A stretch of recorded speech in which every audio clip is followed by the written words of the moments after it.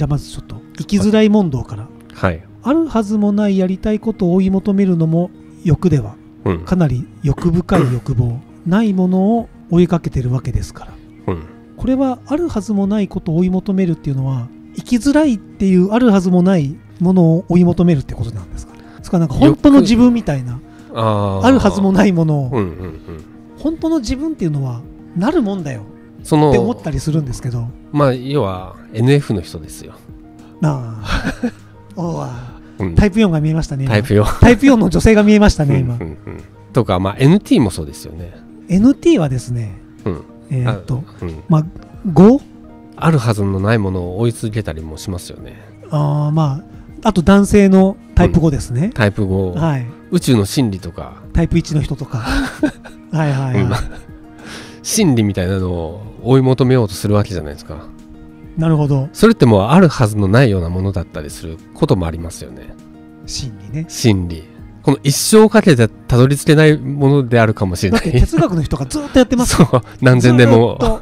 でなんかある人が出るとうん。カウンターが出て、うん。またそのカウンターが出てっていう繰り返しじゃないですか、うん。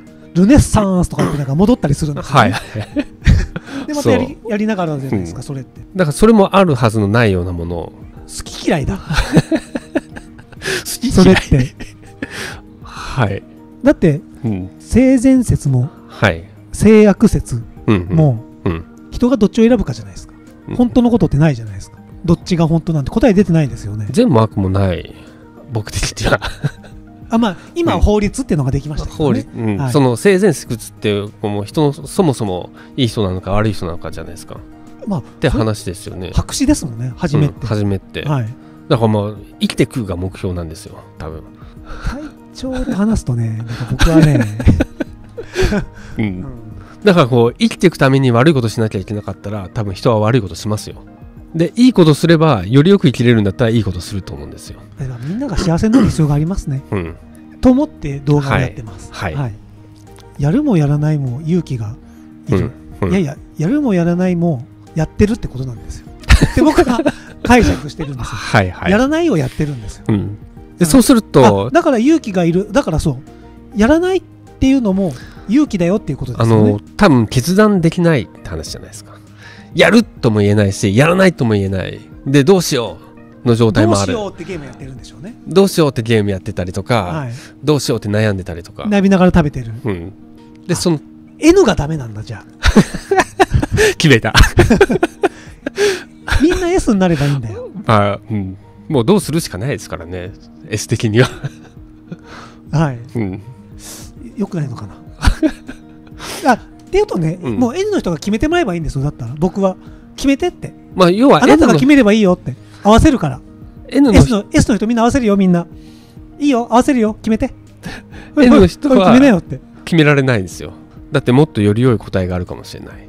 あ NJ の人は決めれるかもしれない、はいはい、うん、もうどっちか思考とか感情に偏ってるじゃないですか。J の人は、P の人は そこにまた可能性が出てくる。といやもっとより良い答えがあるかもしれないから探求しようみたいな、じゃあやりたいことやってるからいいじゃんって。